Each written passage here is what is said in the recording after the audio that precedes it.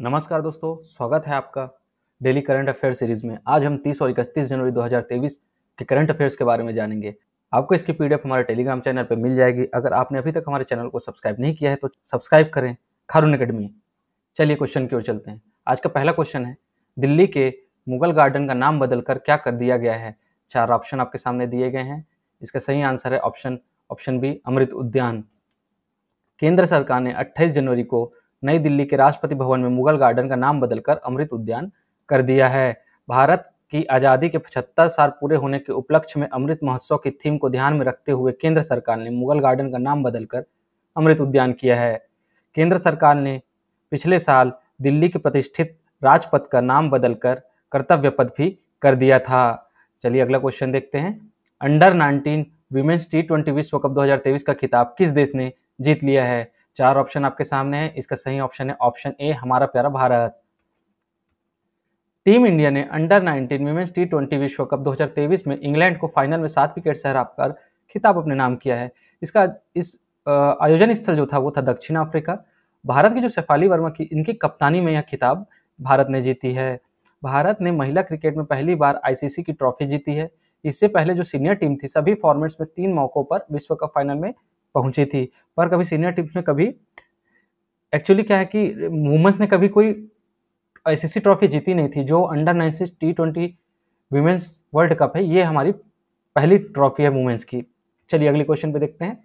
निम्नलिखित में से किस देश ने हॉकी विश्व कप 2023 का खिताब जीता है? चार ऑप्शन आपके सामने दिए गए हैं, इसका सही आंसर है ऑप्शन ए जर्मनी। हॉकी विश्व कप 2023 के फाइनल मैच में जर्मनी ने बेल्जियम को पेनल्टी शूटआउट में हराकर खिताब अपने नाम किया है, जहाँ पे उप विजेता जो है बेल्जियम है। हॉकी विश्व कप 2023 का शुभारंभ जो है उड़ीसा में हुआ था, जो 13 जनवरी से चालू हुआ था और 29 जनवरी को फाइनल मैच इसका खेला गया। इस टूर्नामेंट में दुनिया की 16 दिग्गज टीमों ने हिस्सा लिया था। हॉकी विश्व कप 2023 की मेजबानी भारत को मिली थी, जो कि उड़ीसा के राउल किला और भुवनेश्वर में सभी मैच खेले गए। जर्मनी ने ओडिशा अंतर्गत भुवनेश्वर के कलिंगा स्टेडियम में खेले गए मुकाबले में शानदार प्रदर्शन करते हुए अपना तीसरा विश्व कप जीता है। चलिए अगला क्वेश्चन देखते हैं। ऑस्ट्रेलिया ओपन 2023 का महिला एकल का खिताब किसने जीता है? इसका सही आंसर है option A, Aryna Sabalenka. Australia open 2023 में बेलारूस की आर्यना सबलेंका ने कजाकिस्तान की एलेना रेबाकिना को हराकर महिला एकल खिताब जीत लिया है। ऑस्ट्रेलिया ओपन 2023 में टेनिस में लुइसा स्टेफनी और राफेल माटोस की ब्राजीलियाई जोड़ी ने 27 जनवरी को मिश्रित युगल में खिताब जीता है। ये जो है लुइसा स्टेफनी और राफेल मोटास ने ये जो जीता है, ये है मिश्रित युगल में जीता है और जो आर्याना सबलेंका है, इन्होंने महिला एकल में खिताब जीता है। चलिए अगला क्वेश्चन देखते हैं। हाल ही में लॉन्च हुई भारत की पहली इंट्राजेनल कोविड नाइन्टीन वैक्सीन का नाम क्या है?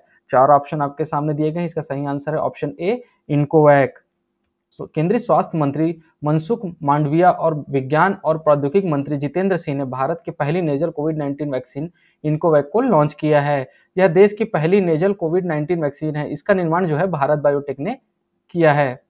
यह कोविड 19 के लिए दुनिया का पहला इंट्राजेनल वैक्सीन है, जिसे दो प्राइमरी डोज के साथ अनुमोदन प्राप्त हुआ है। है ना? और नेजल वैक्सीन का मतलब जो है, जो नाक से दी जाने वाली वैक्सीन होती है, उन्हें नेजल वैक्सीन कहते हैं।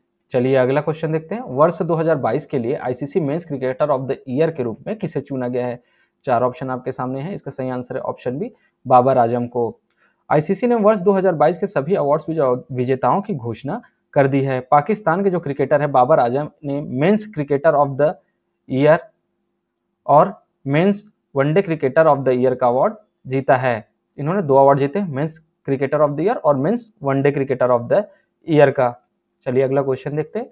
हाल ही में कितने परमवीर चक्र विजेताओं के नाम पर अंडमान निकोबार समूह का, द्वीप समूह का नामकरण किया जाएगा? सही आंसर है ऑप्शन बी 21 अगला क्वेश्चन है, चीन के बाद ट्रेड प्लस वन समझौता चक्र शुरू करने वाला दुनिया का दूसरा देश कौन सा है?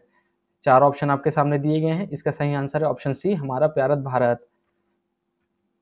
चीन के बाद भारत शीर्ष सूचीबद्ध प्रतिभूतियों में ट्रेड प्लस वन निपटारा चक्र शुरू करने वाला दुनिया का दूसरा देश बन जाएगा। इसका उद्देश्य जो है, परिचालन की दक्षता, तेज़ी से धन प्रेषण शेयर वितरण और शेयर बाज़ार सहभागियों के लिए आसानी लाना है।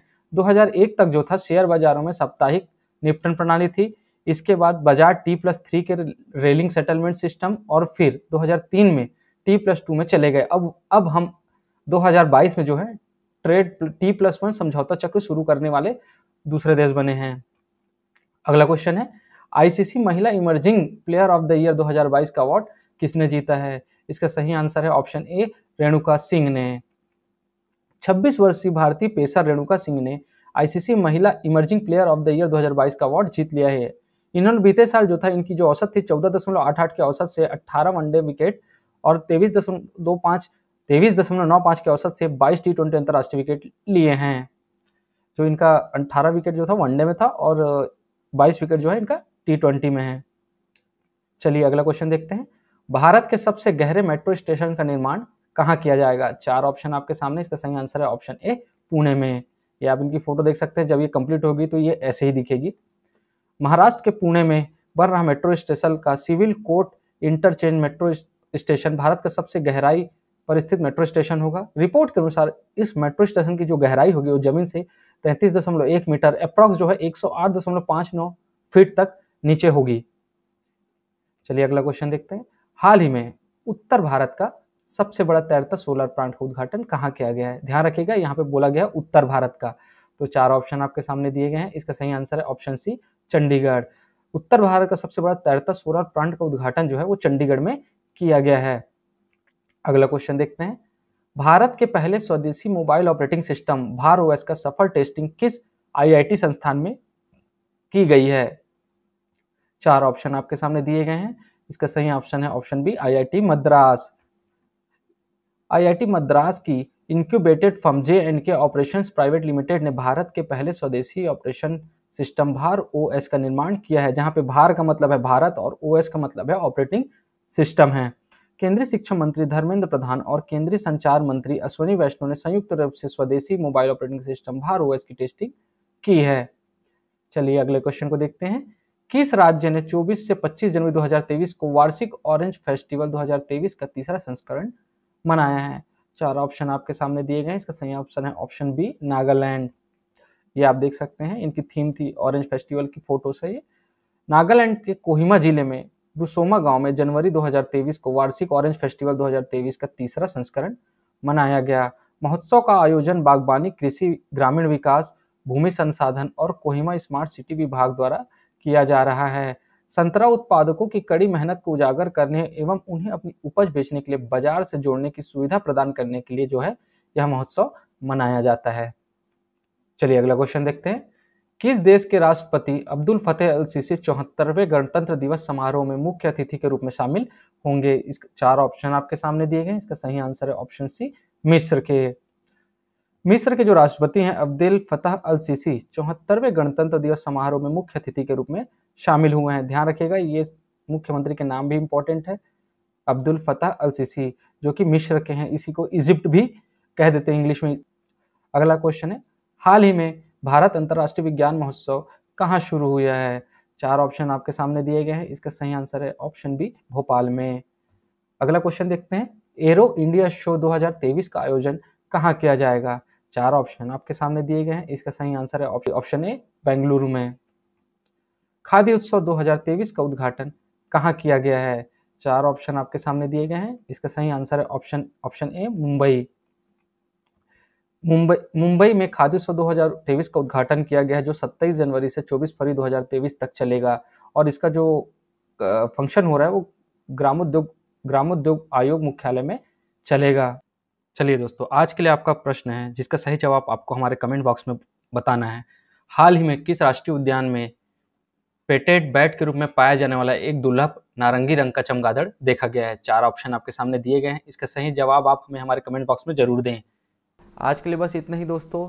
आप हमारे साथ, हमारे फेसबुक द्वारा और हमारे टेलीग्राम के द्वारा हमसे जुड़ सकते हैं। साथ साथ आप हमारे इंस्टाग्राम के द्वारा भी हमसे जुड़ सकते हैं।